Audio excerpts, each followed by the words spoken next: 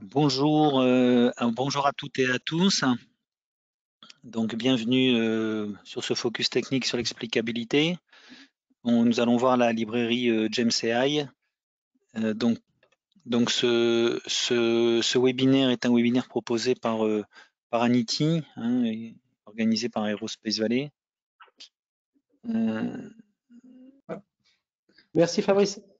Donc, euh, euh, donc euh, bienvenue à vous. donc, moi, je m'appelle Jean-Michel Lubès. Je suis professeur des universités. Je suis titulaire d'une chaire à Anity sur les problématiques liées au biais à l'explicabilité.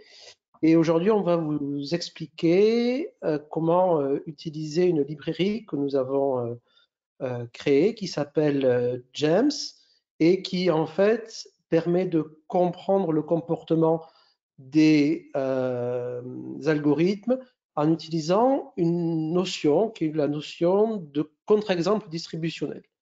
Donc c'est un travail qu'on a réalisé avec euh, Laurent Risser, à qui je vais laisser la parole, et on aura euh, en fin d'explication un cas, un retour sur une utilisation par Philippe Méneret de Soprasteria qui nous fait la gentillesse de venir euh, parmi nous. Laurent, je te laisse te présenter. Bah, je me présente aussi, donc bonjour. Donc moi je suis Laurent Risser. Donc, je suis ingénieur de recherche euh, sur l'Institut de mathématiques de Toulouse. Et je travaille beaucoup euh, donc avec Jean-Michel, donc notamment sur ce projet. Donc voilà, je travaille principalement sur les problématiques intelligence artificielle, biais, explicabilité donc avec Jean-Michel, au sein du 3IA, donc avec aussi des liens avec les, juristes, donc avec le droit, et voir quelles sont les implications du droit sur l'utilisation de l'IA. Et là, donc ces histoires d'explicabilité en font partie. Voilà, ben, je pense qu'on va commencer du coup. Parfait. Donc on va vous expliquer euh, ce qu'on a créé euh, avec James. Donc on va vous expliquer un petit peu cette notion euh, d'explicabilité. On va vous faire un focus sur euh, l'utilisation de l'application. On va vous montrer comment euh, on peut intégrer le code dans vos, vos, applications et on vous montrera enfin quels sont les développements récents sur lesquels on a travaillé qui essaient de combler les lacunes de de la toolbox. Donc on prend juste un, cas, euh, un cas d'usage. Pourquoi euh, faire de l'explicabilité en, machine learning? C'est un jeu de données qui est, bien connu où on essaie de prédire si une personne, en fonction de ses caractéristiques, va euh, avoir un, crédit. Alors qu'est-ce qu'essaie de faire l'algorithme? L'algorithme essaie de calculer le risque de ne pas rembourser. Donc, vous avez un algorithme euh, qui peut être très compliqué, comme une régression euh, euh, avec un extrême gradient boosting, jusqu'à des choses un peu plus simples comme la régression logistique. Et tous ces algorithmes, en fait, utilisent des variables. Alors, parmi les, variables, on peut trouver l'âge, vous voyez la pyramide des âges, on a des niveaux d'études, on a des euh, notions liées au genre, des euh, notions de quantité euh, d'heures travaillées. Et en utilisant toutes ces informations, l'algorithme va, par une boîte noire, essayer d'utiliser toutes ces informations pour bien prédire. Alors, il prédit bien, il prédit à 90% d'accuracy, 89%, mais est-ce que ça suffit? Ben, ça, ça, peut, ça pourrait suffire si on était sûr de nos prédictions, mais dans ces, dans, on peut voir par exemple qu'on a deux personnes euh, qui sont euh, assez similaires, qui ont le même âge, 41 ans. On a euh, une personne qui a un diplôme de niveau plutôt Bac plus 6, qui travaille 43 heures par, par, par, par semaine, et on a une autre personne qui est un peu plus euh, éduquée, qui a donc un bac plus 8, mais qui travaille deux heures de moins par personne. Et pour ces deux personnes qui pourtant se ressemblent, on a deux décisions qui sont totalement différentes. Alors, est-ce que c'est grave Est-ce que c'est pas grave? Oui, en fait, en l'occurrence, parce que ce qui différencie ces deux personnes, c'est le genre. Et ces personnes sont totalement, grâce au RGPD ou à la loi euh, européenne sur l'IA, elles sont capables d'aller demander, elles ont le droit d'aller demander à la banque pour quelles raisons euh, elles euh, n'ont pas eu la même décision. Est-ce que ce n'est pas des raisons qui sont, qui sont passibles de poursuites judiciaires, qui sont liées à des notions de discrimination liées au genre Et si le data scientist n'est pas capable d'expliquer l'algorithme, s'il dit ben, je suis désolé, j'ai fait un, gradient boosting et puis j'ai toute l'information, elle est, diluée, eh bien, le juge rendra la décision en disant qu'effectivement, il y a eu de la discrimination. Donc, ces problématiques liées à l'explicabilité, non seulement elles interviennent dans un cadre de système à haut risque, vous voulez comprendre des décisions, mais d'un point de vue légal, c'est très important de pouvoir expliquer une décision pour se protéger, pour que les, euh, pour avoir, pour accorder plus de confiance dans les décisions algorithmiques. Donc nous, on a eu un, point de vue qui est de se dire, en fait, pour nous, l'algorithme, c'est une boîte noire qui prend en entrée des variables qu'on a notées euh, x, donc en grande dimension, donc euh, x1, xp, et on obtient des, sorties. Et pour nous, en fait, l'algorithme, c'est quelque chose, on l'a obtenu par euh, apprentissage. Donc, en fait, ce que fait l'algorithme, ce que fait cette boîte noire, elle a essayé d'apprendre une distribution de l'information, elle a essayé d'apprendre l'information des données, et cette information, c'est la façon avec laquelle ces données sont générées. Et cette façon avec laquelle ces données sont générées, pour nous, c'est la distribution, c'est la modélisation mathématique. Donc on s'est posé la question, est-ce qu'on est capable de perturber cette distribution? Est-ce qu'on est capable de perturber la façon avec laquelle les données sont générées, de donner ces informations à l'algorithme et voir comment l'algorithme va être modifié. Si on reprend des, cas, euh, des cas d'usage, en fait, on est en train de, euh, de euh, essayer de stresser l'algorithme. Alors j'aimerais qu'on change de slide. Voilà, on est en train de, rajouter du, du, stress sur l'algorithme. On va regarder ses conditions limites et on va essayer d'apprendre des choses sur l'algorithme avec ça. Donc, c'est des choses qui sont euh, pas propres euh, à, ce cas d'application. C'est ce qu'on fait en, finance avec les, simulations euh, qui sont inspirées des, accords de, de. On essaie de regarder comment une banque résiste à du stress du système bancaire. Et c'est exactement ce que font les médecins quand ils vous soumettent à des, batteries de, stress. On essaie de pousser le système jusqu'à sa limite, mais euh, jusqu'à sa limite pour comprendre comment réagit le corps. Mais l'exemple de, euh, de, la limite euh, en médical, c'est important parce qu'en fait, on ne doit pas dépasser un certain niveau parce que si on vous rajoute trop de stress, eh bien, on va vous tuer à l'effort et donc on va rien apprendre. Du coup, toute la problématique, c'est d'arriver à essayer de rajouter du stress tout en restant dans le domaine de validité de l'algorithme. Donc en fait, le domaine de la validité, c'est la, loi de, l'algorithme. On va essayer de modifier la loi des entrées, mais on ne veut pas tuer l'algorithme, c'est-à-dire on veut rester dans le domaine de validité, on veut que la loi des inputs qu'on va, faire du stress ne doit pas trop modifier la loi des entrées. Dit autrement, en fait, quand on va essayer de générer des contre-exemples, il faut que ces contre-exemples ne soient pas totalement extravagants, qui respectent la loi de, des données que l'algorithme a utilisées pour, euh, pour apprendre. C'est ce qu'on appelle, il faut que les contre-exemples soient plausibles.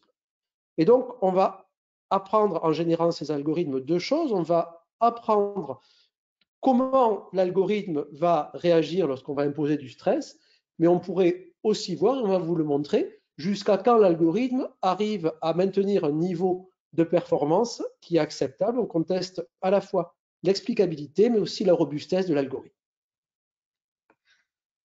Donc, comment on va faire? Eh En fait, ça repose sur des, garanties mathématiques qui disent la chose suivante. En fait, euh, c'est la seule, le seul slide où on vous montre des, mathématiques. C'est-à-dire que lorsqu'on a une distribution, lorsqu'on a des observations, la loi on l'appelle PN.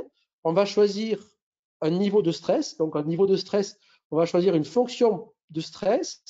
On va dire, ben, on va essayer de générer des nouvelles données. On va chercher une nouvelle distribution qu'on appelle grand Q pour un niveau de stress donné qu'on appelle petit t.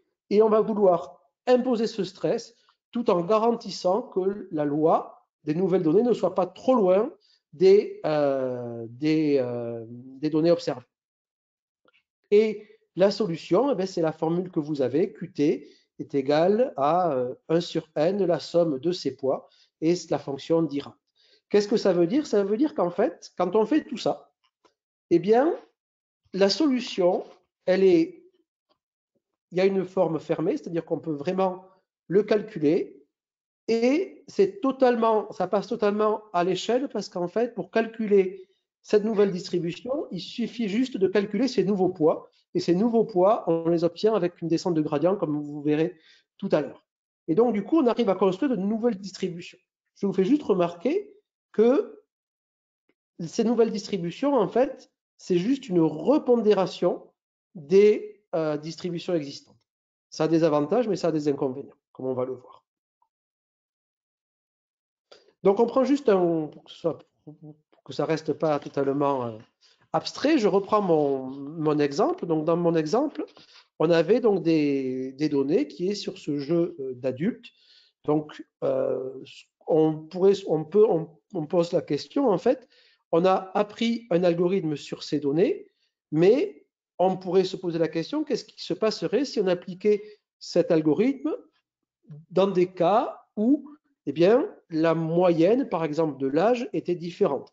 Euh, est-ce que, l'algorithme aurait la, euh, est-ce que l'algorithme aurait la même probabilité de euh, trouver que des gens sont à risque si la moyenne de ces personnes est plus âgée et plus élevée?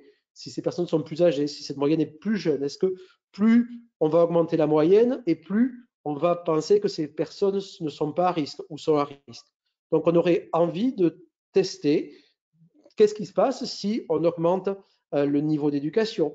Est-ce qu'on peut augmenter le, statut, les heures travaillées, la corrélation entre le fait que plus les gens ont l'air d'avoir un, diplôme élevé et plus ils travaillent? Est-ce que cette corrélation modifie des choses? Donc, vous voyez, on peut se poser plein de, de questions. Et ce que permet notre, boîte à outils, c'est de créer une façon de simuler des données qui va répondre à ces questions. C'est une, une, façon de, de, créer une machine à euh, réalité euh, alternative, c'est une what if machine où on essaie d'imaginer des données pour tester quelle aurait été la réponse de l'algorithme si les conditions avaient été différentes. Donc, par exemple, vous voyez, l'âge est de 38 et euh, la probabilité moyenne d'acceptation, c'est de 21%. Eh bien, ce qu'on va faire, on va rajouter du stress sur la moyenne. On va trouver donc les poids optimaux, c'est les lambda, on les calcule très facilement. Et ensuite, on va pouvoir calculer ce, comment l'algorithme a, varié. Donc, par exemple, quand on a calculé les poids, eh bien, on peut regarder comment évalue cette probabilité. Donc, ce qu'on voit, c'est que ben, plus on va augmenter l'âge moyen et plus cette proba va augmenter jusqu'à un certain moment, 50 ans, et à partir de 50 ans, eh bien, l'algorithme va trouver que les gens vont être plus à risque. Donc, en fait, vous voyez l'effet, on arrive à ressortir l'effet de euh, la variable âge, et on est sûr qu'en fait, on n'a pas testé des artefacts, on a testé des variables qui sont dans le domaine de la validité de l'algorithme. Donc, en fait, l'algorithme a bien été entraîné sur des données qui ressemblent à ces compteurs factuels, à ces contre-exemples, et on arrive malgré tout à comprendre euh, comment l'algorithme évolue. Donc du coup, ben, ça, on peut le faire et on peut regarder l'effet différentiel de toutes les variables. Donc vous voyez, là, on est juste dans un, on répond à la question, qu'est-ce qui se passe quand on augmente l'âge moyen? Donc quand on augmente l'âge moyen, donc on répond à cette, à cette question, on peut regarder est la, quand on augmente les variables une par une, excusez-moi, on peut regarder qu'est-ce qui se passe. Donc, ce que vous voyez, donc si vous voyez par exemple la, courbe rouge sur ces, ces, trois graphiques, vous voyez que si on doit trouver un facteur que l'on cherche à augmenter augmenter la, la propension de l'algorithme d'accorder un crédit, eh bien la variable sur laquelle il faut jouer en, en, en, priorité, c'est sur le niveau d'études. Alors, vous savez tous que euh, pour gagner plus, il faut travailler plus, mais vous voyez, en fait, là, pour gagner plus, il faut avoir plus, avoir fait des études. Alors, on n'est pas loin parce que pour gagner plus, il faut travailler plus. Vous voyez que la deuxième variable la plus euh, favorable à, la probabilité d'avoir un crédit, donc la probabilité d'avoir un crédit, c'est-à-dire d'avoir un, haut salaire, ben, c'est la variable euh, qui est euh, finalement la variable verte, qui est le nombre de variables travaillées. Donc en fait, ces graphiques permettent d'arriver à comprendre l'effet différencié de chaque variable et on commence à avoir une approche de l'explicabilité parce qu'on mesure l'impact de chaque variable.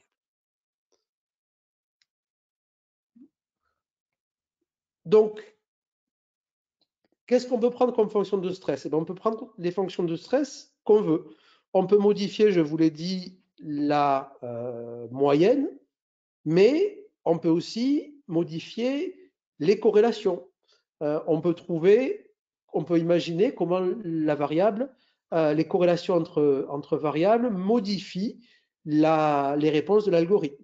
Alors quand on regarde les, corrélations, on peut regarder, on peut faire bouger euh, une corrélation. Donc, c'est la, euh, la première ligne, vous voyez, le stress sur la covariance. Mais vous savez que pour augmenter le, les, corrélations, en fait, c'est lié à la, moyenne. Donc, on peut aussi se dire, on peut isoler l'effet corrélation, on peut fixer les moyennes et, être sûr qu'on ne bouge que la corrélation. Donc, vous voyez, on peut, ça c'est ce que nous, nous avons imaginé, mais vous, pouvez euh, en prenant en main l'outil, imaginez la déformation qui correspond à votre cas d'usage et générer des données pour tester ces cas d'usage. La seule condition, c'est que ça reste du stress sur la moyenne du comportement. On peut aussi regarder l'évolution non pas de euh, la, la, décision algorithmique, mais on peut évaluer la performance de l'algorithme. Donc, on peut se poser la question, qu'est-ce qui se serait passé sur la performance de l'algorithme si on avait changé la valeur d'une variable? Donc, ici, en fait, on étudie la robustesse du, euh, du réseau, la robustesse de l'algorithme, de sa résilience par rapport aux perturbations des, euh, des variables d'entrée. Donc, vous voyez que, par exemple, la variable, si on fait juste bouger la moyenne, une des variables euh, les plus confondantes, les deux variables les plus confondantes, c'est justement cette notion d'heure travaillée, parce qu'en fait, parmi les gens qui gagnent beaucoup, il y a des gens qui travaillent beaucoup, mais c'est des gens qui ont aussi un haut salaire. Et du coup, c'est ce qu'on arrive à, regarder. Il y a un effet, il y a des effets assez intéressants parce que c'est non linéaire, c'est-à-dire c'est pas forcément quand vous voulez augmenter un effet, ben et quand vous voulez diminuer, diminuer un effet, vous voyez sur les courbes, ce n'est pas forcément les mêmes variables qui sont les plus impactantes selon que vous souhaitez augmenter ou diminuer un effet. Donc voilà euh, ce, que fait l'algorithme, euh, la, toolbox. Et maintenant, on va rentrer un peu plus dans le code. Ok. Je prends la suite du coup. Donc euh, voilà, on a vu du coup que ce code euh, fait quand même pas mal de choses. Donc il permet d'évaluer le niveau d'erreur, de prédiction positive, tout ça en fonction d'un niveau de stress, en modifiant finalement certaines variables. Donc on va voir comment faire là. On va voir ce qu'il y a un petit peu derrière l'exemple qu'on vous a montré. Donc là, ce que je vais vous présenter, donc c'est quelque chose que vous pouvez trouver en ligne. Donc là, vous voyez euh, sur euh, notre GitHub euh, Anity, on, a, on distribue donc le code correspondant à ce qu'on vous a montré, avec aussi quelques exemples. Donc là, je vais vous présenter un de ces exemples en version un petit peu rapide. On ne va pas tout montrer, c'est un petit peu long. peu verbeux, mais on va vous montrer les, lignes principales du code pour montrer les fonctionnalités. Donc là, dans l'idée, voilà, on, retravaille sur le jeu qu'on vous, a présenté. Donc celui dans lequel on a des dossiers de, clients qui, candidatent pour ben, un crédit bancaire, enfin un prêt. Donc on a ces données-là, on sait, euh, voilà, est-ce qu'ils auront ou non leur, euh, leur prêt accordé ou refusé. Donc concrètement, voilà, on fait quelque chose de très standard, on importe Pandas, donc on est dans Python. Dedans, ben, on, va récupérer nos X, donc là on fait un read CSV, on avait nos données dans un CSV, ce qui est très standard. On va isoler euh, donc la variable gender pour voir si on a des biais éventuellement, il peut y avoir des choses. On peut l'enlever, enfin voilà.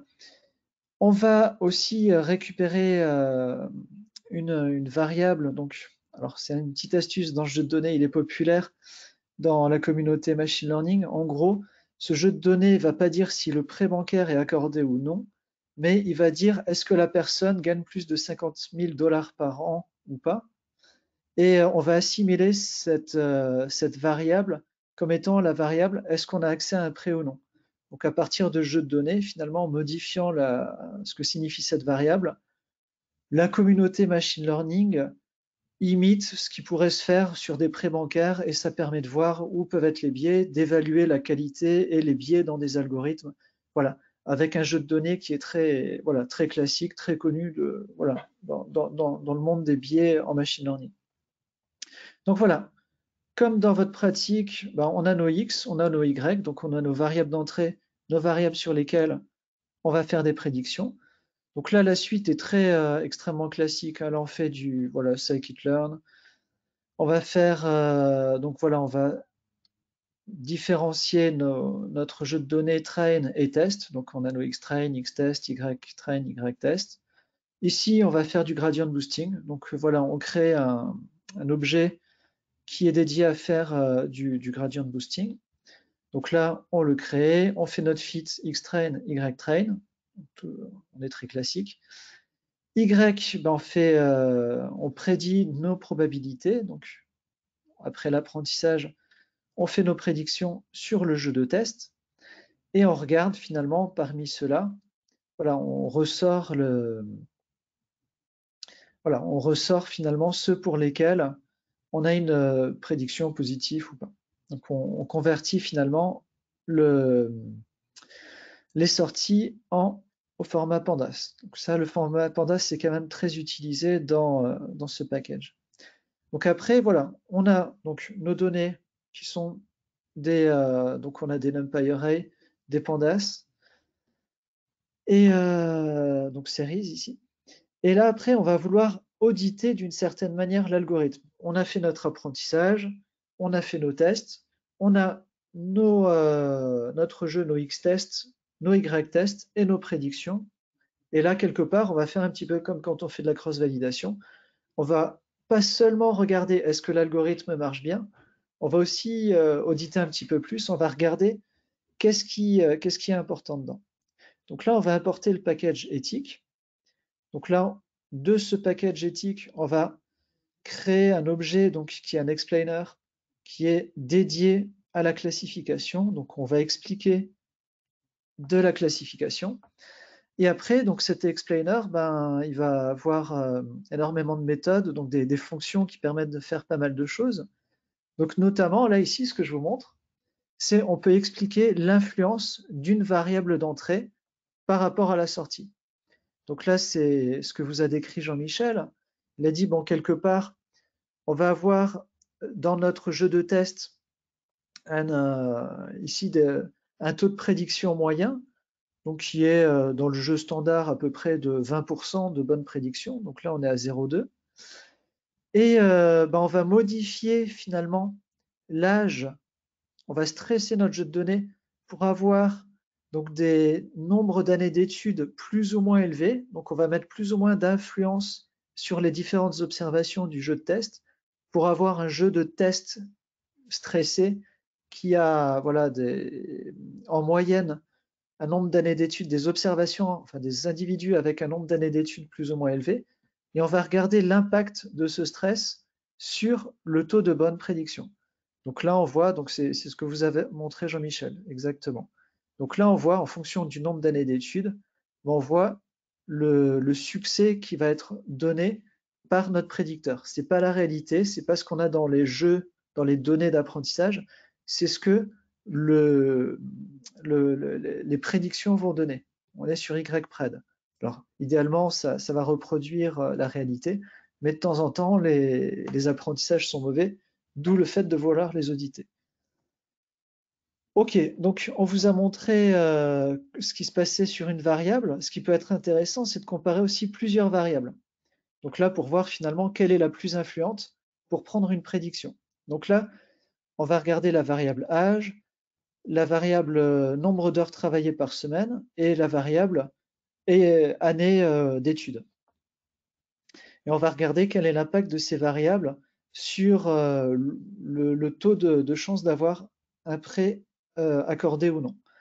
Donc là, c'est ce qu'on avait vu tout à l'heure. On voit que le nombre d'années d'études, là, la, courbe bleue, est celle qui a vraiment le plus d'impact. Euh, le nombre d'heures travaillées par semaine ici n'a pas un impact fou, mais il n'est pas nul non plus. Et euh, l'âge aussi, voilà, a aussi un impact. Si on est jeune, on a vraiment moins de chances d'avoir notre prêt accordé par le réseau, enfin, par le, la CXJ Boost, par notre prédicteur. Et quand on commence à être âgé, on voit qu'on a un âge où on a le plus de chances d'avoir notre prêt, mais quand on vieillit, bah, le, prédicteur va être moins sympa avec nous. Alors une petite remarque ici, là vous voyez, on compare entre guillemets des, choux et des carottes, donc des choses qui vivent sur des échelles différentes. On a l'âge, les heures travaillées par semaine, le nombre d'années d'études, c'est des choses qui ne vivent qui, ne vivent pas sur les mêmes échelles, c'est pas les mêmes euh, variables. Donc là, quand on va vouloir comparer plusieurs variables, l'impact de plusieurs variables à la fois, on va utiliser plus des quantiles. On va dire, bon ben voilà, là on est, euh, quand on est à moins 1, on va être dans les 10% finalement. On va avoir un quantile qui correspond aux 10% les plus faibles. Quand on est à 1, on a 90% les plus élevés. Donc là, voilà, on travaille sur des quantiles pour pouvoir comparer différentes variables. Donc voilà une euh, autre chose que peut faire cet explainer qui est assez sympathique, c'est aussi de comparer donc dans ce jeu de test quelles sont les variables les plus importantes. Donc là finalement on peut dire bah, le nombre euh, d'années d'études c'est clairement dans ce cas-là la, variable la plus influente. Ici on a rajouté aussi gender. Donc gender c'est une variable qui a un impact mais qui n'est pas le plus influent. Donc en fonction de la sensibilité de l'algorithme qu'on veut auditer, on portera plus ou moins d'attention à ce type de variable. Donc, et puis en fonction de, voilà, de, ce qu'on doit prédire. Ça peut être, nos variables peuvent être sensibles dans certains cas, pas dans d'autres. Voilà. En tout cas, ça permet de visualiser rapidement quelles sont les variables les plus utilisées pour euh, faire nos prédictions. Euh, voilà, donc juste, on, a, là, on a vu finalement donc, les, les histoires de, de prédictions positives moyennes. Donc, on peut aussi prédire la performance, donc finalement les erreurs, finalement quelles sont les variables le plus liées à des erreurs dans nos prédictions. Donc ici, par exemple, pour des gens qui sont jeunes, les prédictions, en tout cas dans le jeu de test, ne se trompent jamais. Donc en gros, on donne rien à personne, mais ce qui correspond à la réalité de notre jeu d'apprentissage. Là après, voilà, sur certains âges, on se trompe plus. Sur le nombre d'années d'études, c'est là où, il y a le plus d'erreurs par rapport au jeu d'apprentissage. Donc on peut évaluer ça. On pourrait mettre tout plein de variables et voir quelque part quelles sont les variables sur lesquelles notre apprentissage diffère le plus de la réalité. Alors, euh, on pousse un petit peu, donc là, je fais, un petit peu de pub, mais pour vous dire, voilà, ce package, on peut aussi l'utiliser pas seulement sur des tableaux, mais aussi sur des images. Donc, il y a une extension. Donc là, c'est une extension sur le jeu euh, Amnist. Donc, euh, une petite parenthèse, euh, il y a d'autres outils qui existent pour faire de, l'explicabilité des prédictions. Par contre, à notre connaissance, quasi tous les outils font des explications individuelles. C'est-à-dire ici, là, par exemple, sur une prédiction individuelle, avec euh, Lime ou Chap, donc j'ai une prédiction, je vais expliquer quels sont les points dans mon image les plus influents pour prendre ma prédiction. Ça, c'est des choses qui existent. Là, c'est un aspect un peu pratique qui est là, on fait notre audit de l'algorithme sur une base de test et pas sur une prédiction individuelle. Donc si on faisait cet audit sur une base de test, en moyenne, quels sont les points les plus influents pour prendre une décision, eh bien, on aurait des choses euh, qui seraient euh, complètement faussées. On aurait, ça aurait aucun sens. Donc utiliser Lime sur différentes observations ou CHAP, c'est quelque chose qui n'a pas de sens. Là, par contre, donc sur notre jeu de test, on dit bah, quels sont les pixels les plus influents pour prédire un 0, un 1, un 2, et ainsi de suite. on voit des choses qui ont du sens.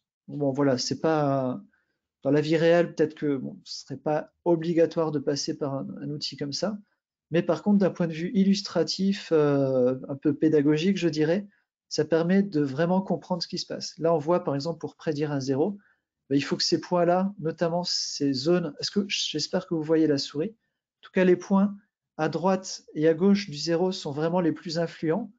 En haut et en bas, c'est un petit peu moins influent. Il faut qu'au centre, là, on ait rien, en fait, qu'il n'y ait rien d'écrit. Et finalement, pour détecter un 0, les points les plus influents vont être ceux qui sont à gauche et à droite du 0, donc qui doivent être euh, ben, écrits. Il faut qu'on ait quelque chose d'écrit dans ces zones-là, et il faut qu'on ait rien au milieu. Donc ça, c'est vraiment les choses les plus influentes. Alors que regarder en haut et en bas du 0, ça a un impact, mais c'est moins fiable que euh, les, côtés droit et gauche. Donc voilà, ça permet de comprendre finalement comment les prédictions sont faites en moyenne. Euh, je vais pousser un petit peu plus loin. Donc, euh, donc, pour des gens qui ont une utilisation quand même avancée du machine learning. Donc là, voilà, on va faire plus du, réseau de neurones. Donc, bon, il y a, d'autres choses, mais voilà, on peut faire du réseau de neurones. Et là, finalement, sur euh, des images, essayer de, faire des prédictions. Donc là, on va montrer finalement sur euh, Amnist, voilà ce qui peut se passer. Donc là, on va apprendre, euh, bah, on va récupérer des données, nos X-train, X-test, Y-train, Y-test. On fait un petit réseau de neurones là qui est assez gentil. Donc là, voilà qui fait ces prédictions. Et voilà, c'est comme ça qu'on peut obtenir ce type de données. Donc on peut voir ce que je vous ai montré. Niveau code, on va appeler éthique, on va faire nos prédictions, euh, comme on ferait avec Keras ou PyTorch, TensorFlow, peu importe. On va récupérer notre Image Classification Explainer et faire un plot influence de xtest euh, là. Et on va avoir ce que je viens de vous montrer. Donc c'est des choses euh, qui sont assez simples. Petite parenthèse aussi, on a voilà tout, tout, tout, tout ça finalement c'est montré sur des, notebooks qui sont distribués sur notre page GitHub. Donc ça vous pouvez le reproduire, vous pouvez le relancer chez vous pour euh, vous approprier le code. Un autre truc, voilà, si on peut montrer aussi quels sont les, pixels les plus confondants, sur lesquels qui sont le plus liés à des erreurs. Donc quels sont les pixels les plus fiables, les moins fiables pour nos images. Voilà, il y a différentes fonctionnalités qui existent, ce qui est le, message ici. On va plus loin, on va plus loin, donc là on fait du, réseau de neurones euh, sur des images plus complexes. Donc là, c'est plus euh, une utilisation un peu actuelle, c'est des choses peut-être moins rodées que ce que je vous ai montré, mais pour vous montrer un peu ce vers quoi on va et ce qu'on peut quand même faire avec l'outil actuel. Donc là ici, euh, c'est les donc peut-être certains d'entre vous connaissent ce jeu de données. Donc c'est plus de 200 000 euh, photos de célébrités qui sont, euh, voilà, qui sont distribuées. Avec, ça c'est ce qui est très intéressant, il y a 40 euh, annotations sur chacune de ces images. Donc on a 200 000 images annotées avec 40 annotations. Par exemple, est-ce que la personne prise en photo dans l'image a des lunettes, est-ce qu'elle a un chapeau et ainsi de suite. Donc, euh, un truc qui est, assez amusant, donc on, aime ce jeu de données pour, euh, il, permet de passer à l'échelle nos, tests, tout ça. Mais quelque chose qui illustre aussi ce qu'on a fait sur ce jeu de données, c'est il y a un feature, donc il y a une euh, caractéristique qui est est-ce que la personne est attractive ou non. Alors, à prendre avec des pincettes, c'est est-ce qu'elle est attractive ou non pour les gens qui ont annoté les données. Alors cette, voilà, bon, l'idée entre guillemets, d'un point de vue purement scientifique, L'idée, c'est se dire, on a une caractéristique qui est purement, euh, c'est pas très concret, c'est très euh, ouais, qualitatif, c'est voilà, mais qui quand même est donné. On a les gens qui ont annoté les idées, on dit est-ce que la personne prise en photo est considérée comme attractive ou non? ça, on peut l'apprendre. Désolé. Voilà. On, peut apprendre à voir si les personnes sont considérées comme attractives ou non.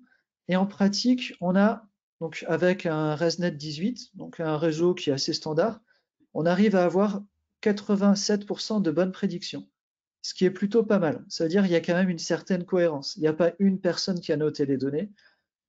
Donc voilà, les choses sont assez cohérentes. Et là, donc, euh, avec James, ce qu'on a fait, donc, on a voulu percer le secret de la beauté, voir euh, finalement qu'est-ce qui, rend quelqu'un d'attractif sur ces images.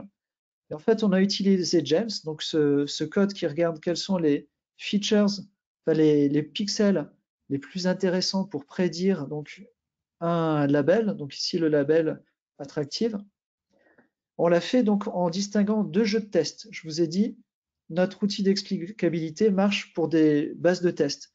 On a une base de test faite de photos juste de, filles, une, enfin de femmes, un autre jeu de test euh, fait avec des gars, donc des, hommes, et on a vu que finalement, le réseau de neurones qu'on avait appris n'utilisait pas les mêmes caractéristiques pour les hommes et les femmes pour prédire si quelqu'un était considéré comme attractif ou non.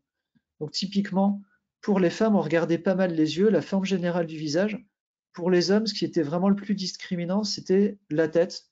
Donc ben, peut-être les cheveux, la coupe, chapeau ou non. En tout cas, l'idée, c'est que d'un point de vue purement scientifique, la, conclusion à en tirer, c'est avec James, quelque part, on a pu voir sur des données qui commencent à être assez complexes. Alors bon, elles sont toutes centrées à peu près sur la même zone, mais on a pu distinguer sur ces données images assez complexes les stratégies utilisées par le réseau de neurones pour détecter finalement, pour prendre une décision. Il faut vraiment le voir comme ça. Et là où c'est intéressant, c'est que sur deux jeux de tests différents, on peut distinguer que le réseau de neurones a utilisé des variables, des points dans l'image qui ne sont pas les mêmes. Donc voilà, et ça c'est plutôt sympa. Je vais aller un petit peu plus loin, donc pour les gens qui font des réseaux de neurones, on peut aussi regarder finalement, donc on peut, euh, lorsqu'on fait nos prédictions, on peut regarder l'état de, l'espace latent, finalement la représentation latente de nos données, et ressortir, donc là, voilà, j'ai fait des hooks, ça pourrait être des, je sais plus comment ça s'appelle, donc les hooks c'est en, en PyTorch, je crois que c'est les callbacks, en Keras et en TensorFlow. On va regarder la représentation latente des données à l'intérieur du réseau de neurones. Et là, donc, c'est des résultats un petit peu, euh, voilà, pas encore trop trop validés chez nous, mais qui qu'on a pu avoir si on a pu regarder dans l'espace latent du réseau de neurones quels étaient les pixels les plus influents, en tout cas les informations, les variables latentes les plus influentes pour certaines prédictions. Donc voilà, on peut faire ce genre de choses, ce qui est intéressant. Donc voilà, donc je repasse la main à Jean-Michel pour voir finalement ce sur quoi on travaille pour aller plus loin actuellement, donc sur euh, ces, travaux. Donc en, fait, James a deux, euh, deux défauts. Euh, le premier défaut, c'est qu'on travaille sur des variables. Donc, si c'est variable, il faut que ces variables euh, aient du sens. par exemple, quand on regarde des, images, les variables, c'est des valeurs pour, euh, pour chaque pixel. Et quand on augmente la valeur d'un pixel, il faut que d'une image à l'autre, eh bien, on a une correspondance. C'est pour ça que Laurent vous a parlé de d'images qui étaient plutôt centrées. C'est-à-dire des images qui sont totalement décentrées, où j'ai plus de correspondance entre images, il faut réfléchir au choix de pixels. La, euh, deuxième, le, deuxième euh, inconvénient de, de James, qui fait aussi sa, sa force euh, également, c'est qu'en fait, on ne crée pas de nouvelles données. On peut se balader dans les distributions qu'on peut générer avec les données. Donc, c'est-à-dire que si on est très loin d'un... Euh, c'est-à-dire que si on a envie d'aller explorer une partie de l'espace où il n'y a pas de données, ben on a du mal à le faire parce qu'en fait, on va, va pas pouvoir pousser notre moyenne si on n'a pas d'observations pour lesquelles euh, on, sur, sur, lesquelles on veut s'appuyer. Par contre, donc si on veut essayer d'aller euh, au-delà de, ces restrictions, on peut, euh, on s'est posé la question est-ce qu'on est capable de créer de nouvelles données en forçant des modifications? Donc, c'est quelque chose que les gens qui font de la causalité euh, connaissent bien, c'est ce qu'on appelle des do interventions. Donc, en fait, on a des données, par exemple, on a des, des femmes et on aimerait transformer ces données de femmes en hommes, mais on aimerait que ce soit plausible. Qu'est-ce que ça veut dire plausible? Par exemple, ben, si euh, moi je mesure 1m80, je suis Bob, Bob mesure 1m86 et on aimerait me transformer en femme, donc je voudrais m'appeler euh, Alice et je voudrais savoir quelle est ma taille en tant qu'Alice. Ben, en fait, si je transforme, si j'utilisais, euh, si je supposais que ma taille n'est pas corrélée à mon genre, pardon, à, à, mon sexe dans ce cas-là, euh, eh bien, euh, je pourrais dire que euh, Alice serait mesurée 1m86. Mais en fait, quand on regarde le graphique que j'appelais figure 2, vous voyez, on voit la distribution des courbes des, entre hommes et femmes, et puis on voit que ces courbes sont différentes. Donc en fait, une bonne façon de faire, ça serait de dire, ben voilà, si un homme est transformé en femme, eh bien, il serait logique de dire que ben, eh bien, sa place dans sa distribution est maintenue. Donc, en fait, on regarderait où se situe 1,86 sur la, répartition des hommes. Donc, 1,86, vous pouvez le voir, c'est le troisième euh, quantile, quantile à, à 75, 75%. Et si on me transformait en femme, on devrait respecter cette position. Donc c'est une façon euh, de faire qui nous paraît cohérente avec nos objectifs, d'essayer de générer des données qui sont des contre-exemples, mais pour lesquels les contre-exemples ne sont pas des artefacts, mais restent plausibles. Donc en fait, on a essayé de modifier, d'imaginer comment créer de nouvelles euh, observations en transportant les distributions entre deux groupes d'observations. Donc c'est un travail qu'on a fait lorsqu'on est dans des données unidimensionnelles, par exemple, avec euh, Marwan euh, Idrissi, qui est en thèse au laboratoire Sinclair, avec Nicolas Bousquet, Bertrand Yos, et puis à Toulouse, co-encadré avec Fabrice Gamboa et moi-même, où on a imaginé la façon de créer de nouvelles observations lorsqu'on met comme restriction des conditions sur les quantiles. On n'a pas toujours une distribution qui est one pour one, il n'y a pas forcément une femme à chaque homme, on pourrait imaginer tout un continuum, c'est-à-dire passer euh, d'une personne à son contre-exemple de façon plutôt continue et imaginée, comme vous voyez sur l'image, tout un continuum de, euh, de contre-exemples qui partent d'un point fixé pour aller vers un autre. Donc, en utilisant ces techniques, euh, eh bien, euh, on peut arriver au moyen d'une technique mathématique qui s'appelle le transport optimal. On peut, lorsqu'on a des groupes d'hommes et de femmes, essayer de transporter un groupe sur une autre et ainsi on crée de nouvelles observations qui, cette fois, qui respectent à la fois cette condition, c'est-à-dire que les nouvelles observations ont vraiment pour loi la loi euh, du groupe choisi et respectent les, contraintes. Donc en fait, on peut, par ces moyens, euh, essayer de créer de, des contre-exemples qui sont plausibles. Donc ça, on l'a fait pour des données euh, qui sont tabulaires. On peut aussi le faire pour des images. Et donc, vous avez des, exemples où on a repris la euh, base de données dont parlait euh, Laurent tout à l'heure.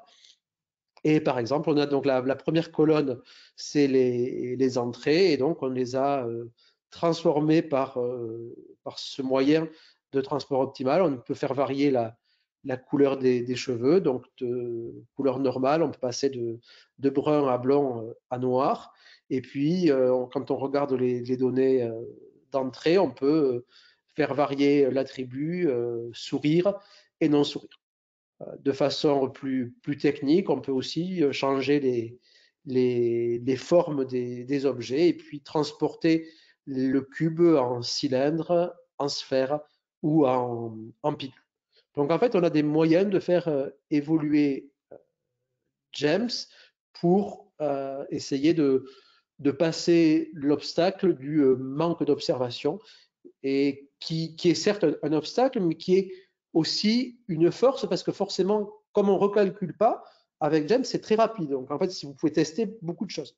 Alors que là, quand on est en train de, de faire ces, ces transformations, comme on recrée des données, eh bien, c'est beaucoup plus, euh, beaucoup moins euh, facilement faisable, puisqu'à chaque fois, il faut créer un plan de transport pour essayer de créer ces nouvelles observations.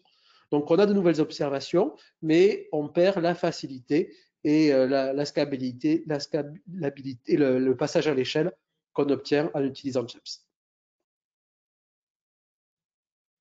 Et je laisse, je repasse la, la parole à Laurent. Donc voilà, donc euh, on, approche quand même de la fin de cette présentation. Donc euh, j'espère que ça vous a intéressé. Donc plusieurs messages avant de passer la main à, Philippe Maneret qui va vous faire un, retour utilisateur. C'est euh, donc voilà, la version 1 est available, donc elle est disponible. Donc vous pouvez la trouver voilà sur GitHub. On a jamesayag.fr. On a aussi une version libre de l'article sur Archive, donc si vous voulez voir comment ça fonctionne. Et on travaille actuellement donc, sur des extensions de euh, cet outil, donc notamment pour les séries temporelles, pour les applications en traitement automatique de la langue, et aussi voilà, avec des travaux sur les, modèles de, fairness, d'équité en, apprentissage automatique. Donc, voilà, c'est bon. Un autre message, donc c'est qu'aussi, si vous êtes intéressé, donc il y a, des, formations donc euh, qui sont liées justement à l'explicabilité, les biais. Donc notamment là, on va proposer une formation avec CNRS Entreprise. Donc si vous êtes intéressé, n'hésitez pas à, nous à revenir vers nous, ainsi qu'un diplôme d'université. Donc sur la formation CNRS Entreprise, c'est deux jours. Le diplôme d'université, c'est quelque chose de, de certifiant, diplômant, mais qui est un petit peu plus long mais euh, voilà, qui, permet aussi de, mieux prendre plus de temps pour comprendre les choses avec euh, plus de pratique, tout ça. Avec, euh, donc il y aura deux parcours, donc un parcours vraiment orienté décideur, cadre dirigeant, CTO, donc qui sera assez général, et un parcours plus les mains dans le code, pour les techniciens et plus ingénieurs de production. Donc voilà, donc je ne sais pas si Jean-Michel, tu as quelque chose à rajouter, sinon je laisse la main à Philippe. Voilà, donc c'était juste pour vous dire que voilà, si vous voulez euh, en savoir plus, vous pouvez nous, vous pouvez nous, contacter, mais si vous voulez une formation euh, continue, eh bien, vous, pouvez le faire via le CNRS ou via euh, Aniti. Et si vous voulez une certification, eh bien, vous pouvez avoir accès à ce diplôme d'université qui est une formation certifiante sur 60 heures, mais qui peut être étalée dans le temps, qui peut être fait une partie en validation des acquis ou qui peut aussi, chaque module peut se faire aussi en formation continue. Ok. Donc du coup, Philippe, on te laisse la main. Voilà pour euh, le retour utilisateur. Oui, merci Laurent. Euh, donc juste pour, pour, me représenter, donc moi je travaille chez, euh, chez Soprasteria dans le vertical Aeroline et dans l'équipe IA et on essaie d'adresser des sujets en IA, des sujets métiers où l'IA a une grosse valeur ajoutée. Et, euh, et, dans ce but, en fait, on a créé une plateforme qui s'appelle Aeroline IA, où on a, en parallèle de nos, de nos, offres, donc dans plusieurs métiers, supply chain, manufacturing, engineering et customer services, on a plusieurs assets. Donc ça, c'est des algorithmes ou des prototypes sur lesquels on travaille qui utilisent de l'IA pour répondre à un besoin euh, métier. Et en fait, euh, à la base, euh, on, crée sur cette plateforme plusieurs, plusieurs démos et plusieurs assets sur cette plateforme-là. Et au début, on n'avait pas du tout de notion d'explicabilité. on, avait juste les résultats de, l'algorithme, de, l'outil. on avait une utilisation pour visualiser les résultats. On n'avait pas tout de notion d'explicabilité. Et on s'est rendu compte que, notamment dans l'aéronautique, euh, nos clients euh, avaient euh, un gros intérêt dans l'explicabilité pour faire adhérer les gens à l'IA et à une, possible industrialisation d'un asset d'IA. Donc en fait, on s'est dit qu'il fallait rajouter un, volet explicabilité pour la plupart de, nos assets. et c'est pour ça qu'on a on était très content d'avoir GemCA avec un, outil clé en main pour pouvoir ajouter ce volet-là à, nos algos de ML. donc c'est pour ça qu'une fois que l'asset était constitué, on a rajouté cette surcouche. Donc ça a été assez facile à intégrer. Il fallait juste bien comprendre ce qui était fait dans, dans GEMS. Euh, donc là, quelques, j'ai mis en droite quelques screenshots d'implémentation. Euh, donc en haut à droite, euh, c'est un, un, asset de détection de, bateaux sur des images satellites. Donc c'est de la, la, computer vision. Et euh, en bas, c'est un asset qui euh, prédit euh, en supply chain pour un, camion ou un bateau qui est en, cours d'approvisionnement, essayer de, prévoir son ETA, donc euh, la, durée qui reste avant qu'il arrive à, la destination. Et du coup, on a un algo euh, de, ML qui va venir euh, estimer la durée restante pour le, le trajet. Et donc en parallèle de cet asset-là, on a ici rajouté une vue, donc ça c'est Power BI, où on a utilisé les, euh, GMCI pour euh, calculer l'influence euh, d'une feature, donc là comme on voit les, graphiques, et la performance du modèle sur, sur des parties importantes de, notre algo, donc pour voir s'il y avait des biais ou s'il y avait des, problèmes sur, sur notre algorithme en question. donc ça, c'est un, un, bon effet puisque ça, ça permet de valider le, et d'aller de creuser plus en détail l'algo qu'on a. Euh, et donc, les, prochaines étapes de notre côté, euh, c'est inclure plus de, features de, GEMS. Euh, pour l'instant, on, a juste quelques-unes, donc on n'a pas encore tout exploré et tout implémenté. Et ce qu'on doit faire aussi, c'est harmoniser entre les différents assets. Donc, on a, on a plusieurs assets. on n'a pas encore implémenté l'explicabilité sur chacun de ces assets-là. Euh, notamment ceux en, computer vision. Donc ça, ça va être fait. Euh, et du coup, maintenant, la, bonne procédure, c'est chaque asset qu'on sort, euh, on va venir rajouter la, surcouche GEMS automatiquement à, chaque fois. Voilà pour le, petit retour expérience et le petit retour d'utilisation de, de GEMS Merci. Encore une fois, euh, un grand merci donc à, Jean-Michel et, Laurent pour cette présentation. Euh, je vous rappelle le principe de ces focus techniques, c'est de présenter les résultats d'Anity qui sont des résultats directement euh, intégrables. Hein, et, donc, vous avez vu comment faire. Vous avez eu, le témoignage donc d'une entreprise qui, l'intègre. Il y en a, il y en a aussi beaucoup d'autres. Je dois dire que, si je peux me permettre, James AI est assez populaire. Hein, Jean-Michel les dernières fois où j'avais regardé le nombre de téléchargements, c'était plus de 8000, mais je pense que ça, a dépassé les 10 000. Euh, bon, ce qui est plutôt un, succès. Donc n'hésitez pas, voyez, vous pouvez l'intégrer euh, chez vous.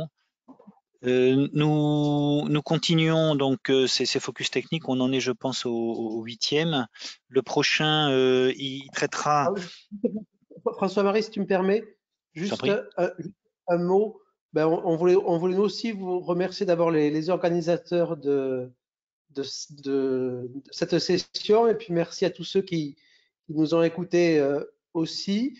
Euh, nous, on est très, on est très à l'écoute des retours d'utilisation positifs et négatifs parce qu'en fait, euh, on essaie donc d'améliorer et puis de savoir là où ça ne marche pas, et eh bien, ça nous permet de savoir ce vers quoi il faut, il faut chercher. Donc, on se nourrit de ces retours d'utilisateurs, on se nourrit de, de, vos problématiques aussi. Donc c'est bien qu'il y ait un, dialogue euh, pour qu'on puisse travailler euh, tous ensemble pour une IA de confiance. Euh, tout à fait. Alors je, vais, je vais le compléter en disant un peu différemment. comment dirais-je Cette présentation est gratuite, n'est-ce pas? Donc une façon de rémunérer les, présentateurs, bah, c'est précisément de leur faire un retour en fait. Vous les utilisez, ben, dites-leur, hein, euh, Jean-Michel et Laurent et puis et leurs équipes, ça leur fera plaisir. Et puis surtout, euh, voilà, les, retours positifs et négatifs permettent de nourrir aussi le, la production scientifique en fait. Hein, c'est vraiment, on, fait ça pour ça. Hein, donc c'est tout à fait. Merci de ce, de, ce message, hein, Jean-Michel. J'espère que chacun d'entre vous l'aura bien dans la tête. Et donc, je vous donne rendez-vous aussi pour un prochain euh, focus technique et qui traitera aussi de questions euh, toujours en, lien avec euh, les, capacités de prévoir correctement les, enfin, d'être sûr des bonnes prédictions. Hein. Donc, on travaillera sur les sur des tests de perturbation pour regarder comment faire quand on est out of distribution, quand on est en dehors de la distribution, on a eu quelques, quelques, quelques éléments là apportés par Jean-Michel sur, euh, sur l'utilisation de GemCI. Donc le prochain traitera aussi de ces sujets-là avec d'autres approches hein, euh, qui sont liées à la simulation. Et c'est le 13 janvier. Bon, c'est un vendredi, mais c'est pas grave. Euh, croisons les doigts. Et donc, vendredi 13 janvier. Et regardez aussi vos mails parce qu'il y aura des afterwork euh, dans, le cadre d'Anity sur les sujets du langage et sur les sujets de, robotique. celui de robotique se passera au LAS d'ailleurs. Donc merci encore aux intervenants, merci à chacun euh, de, vous, merci à la technique aussi euh, Jennifer et Charlène qui étaient, qui, étaient en backup. Et puis je vous souhaite une excellente journée et un bon week-end. Et au plaisir de vous retrouver dans un prochain Focus Technique.